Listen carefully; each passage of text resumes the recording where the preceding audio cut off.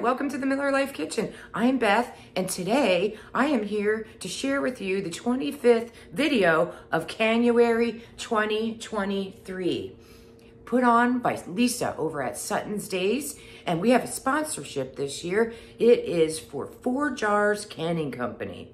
They have three wonderful prizes that they are sharing with you, and also Lisa's giving away a prize as well. All the prizes will be given out on the 31st live on Suttons Daze, so tune in to see if you've won. Good luck to everyone.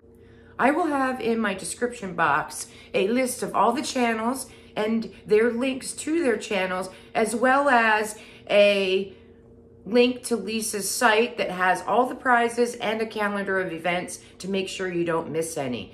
The way that you enter is by watching each video and leaving a comment and you can possibly win one of the four prizes. The bonus is all the recipes and the inspiration from all the wonderful canning videos that have been put on this month. I am going to be bringing you a venison recipe today. However, if you don't have a hunter in your life and you don't have venison, you can also substitute beef. I'm going to be doing a recipe from Pressure Canners for Beginners and Beyond. It's a book by Angi Schneider. This is an excellent book. I love this one. I've made a lot of recipes out of this. And she also does follow canning guidelines, so they are all safe recipes for you to can, so you don't have to worry about that. What I'm gonna be bringing you today is venison carne asada. Now, I did ask Siri, how do you say this? That's how she told me to say it. But you know what? I'm just eating it. Who cares if I say it right? So don't come at me if I'm not saying it right. You probably say it better than I do, that's for sure. But it's, it's in the cookbook on page 147. And let's get started with the recipe. I have everything I need here. I have everything organized. I have my rings. I have my lids, my ForJars lids here in a bowl. I'm going to be adding um, from my kettle hot water in there and have them soaking while we're packing them up. And I have my ladle, my debubbler, and my ingredients. We are going to be doing half recipe as I mentioned earlier. So I need five cups of beef broth. So what I'm going to be doing is using five cups of water and then I'm adding better than bouillon to it to make it beef broth. Then I have my 4.7 pounds of venison. Um, I have this recipe, it called for eight pounds of venison. And my three roasts came out to 4.7 pounds. So it's a little over, but that's okay. More meat's fine with me. This is my two pounds of onions, and then I have one teaspoon of pepper and a quarter teaspoon of salt. And the reason I did that is because there's salt in here. So I didn't want too much salt. This is one and a half tablespoons of cumin.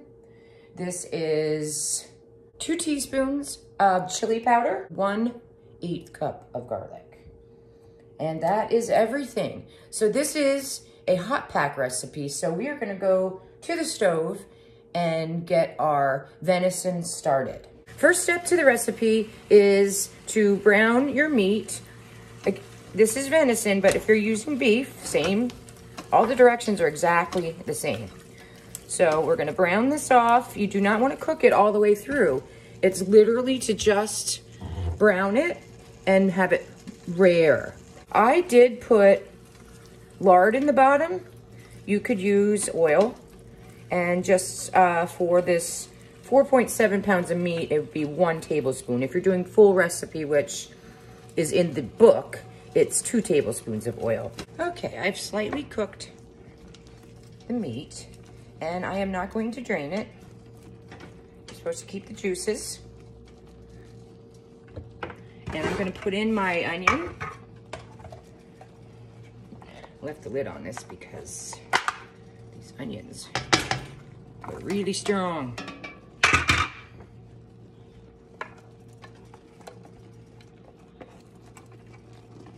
Okay. Got all my onion in there. Again was two cups. Then we're going to put in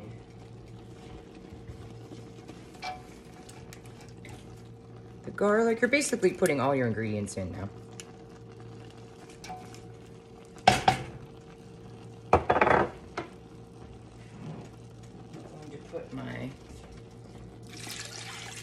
Five cups of water.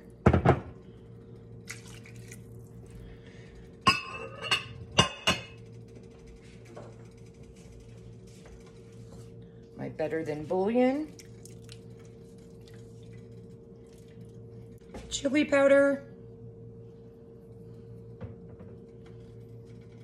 pepper, and a little tiny bit of kosher salt. And then our cumin. That is everything to make the broth. Now you're going to do a medium boil for five minutes. I am doing half the recipe as I mentioned. Um, it call it says it would be 12 pints. So I have six, I have seven. I have an extra one just in case I need that. These were tempered in the dishwasher um, on the sani rinse to warm them up because you want the jars to be warm because you're hot packing, which won't give you jar thermal shock. Let me just get these out of the way so you can see what I'm doing. Okay, I have my lids. I have that, I poured very, very hot 212 water over them and they've been soaking while I've been doing all the other processes. So, let me quick show you.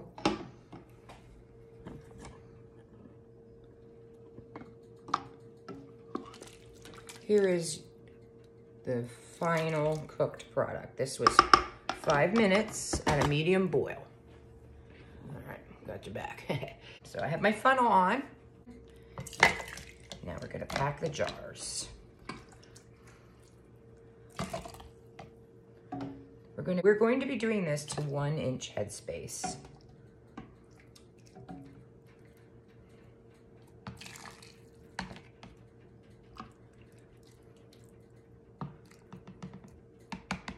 sometimes I find with the funnel that it kind of makes you not be able to see the exact headspace. If you lift up the funnel a little bit, you can see the headspace a lot better. And debubbling, I like to kind of do it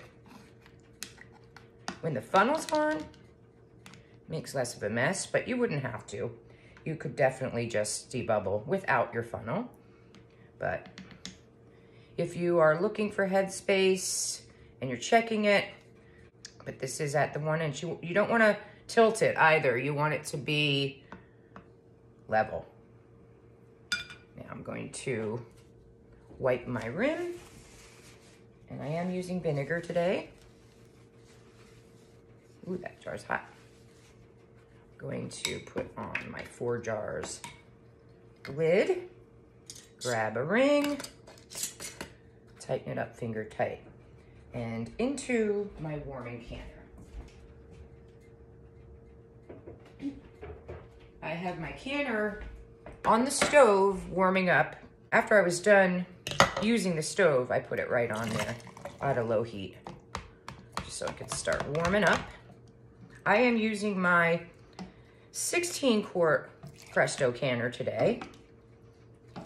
And I have my rack in the bottom and I also have the amount of water that's called for for my canner. So always check that, what your canner calls for as far as how much water you're going to be putting in.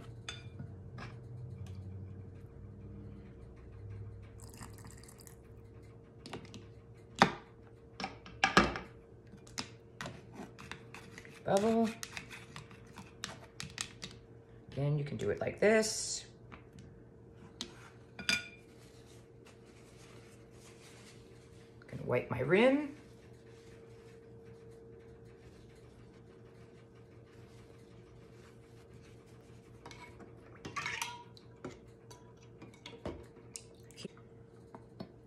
Lid.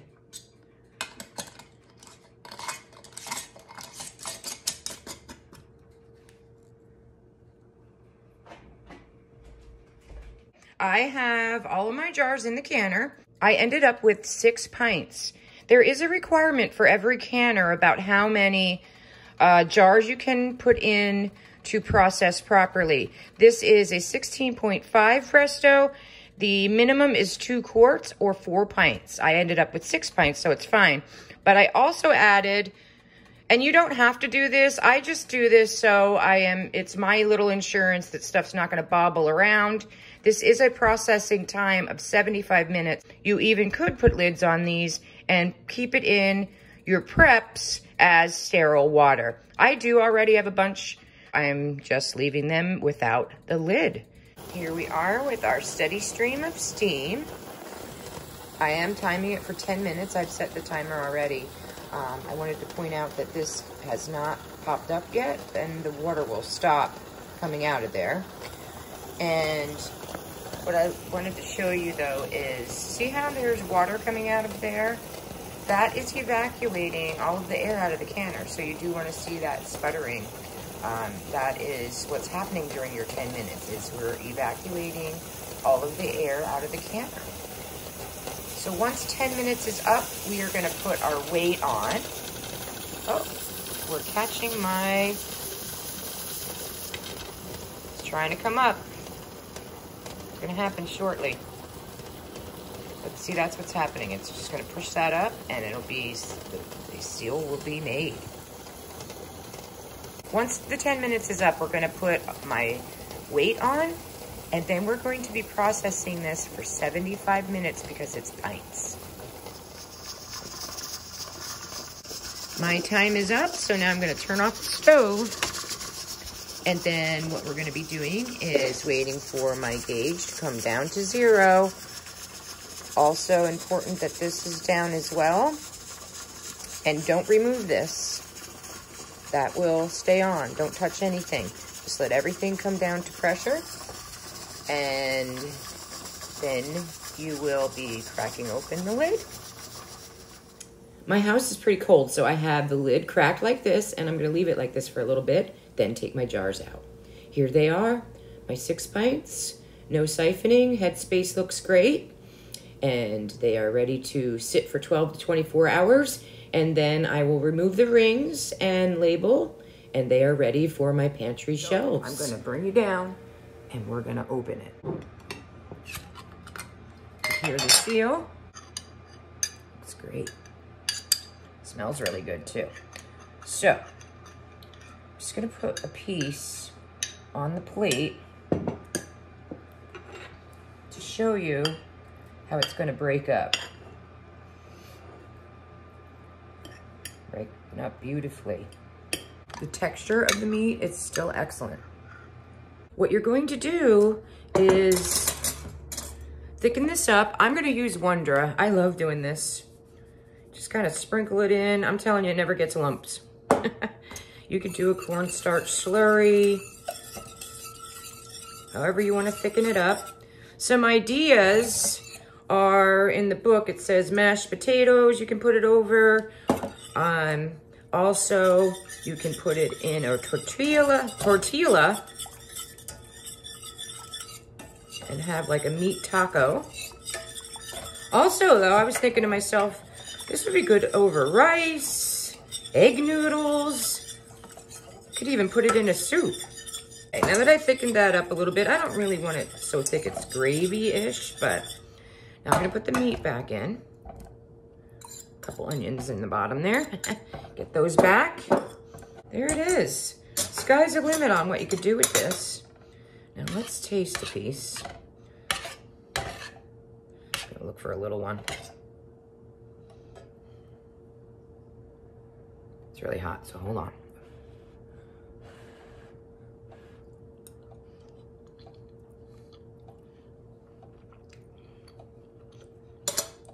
Flavor's excellent. Sorry. I have food in my mouth. Flavor is excellent. I would not change any of the flavoring in this. Salt's perfect. Um, yeah, it's really, really good. Another successful canning recipe in the books.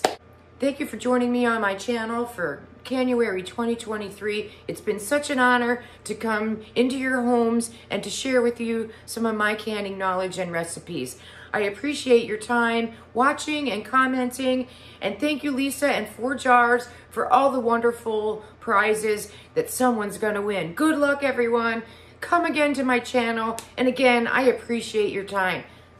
Happy canning.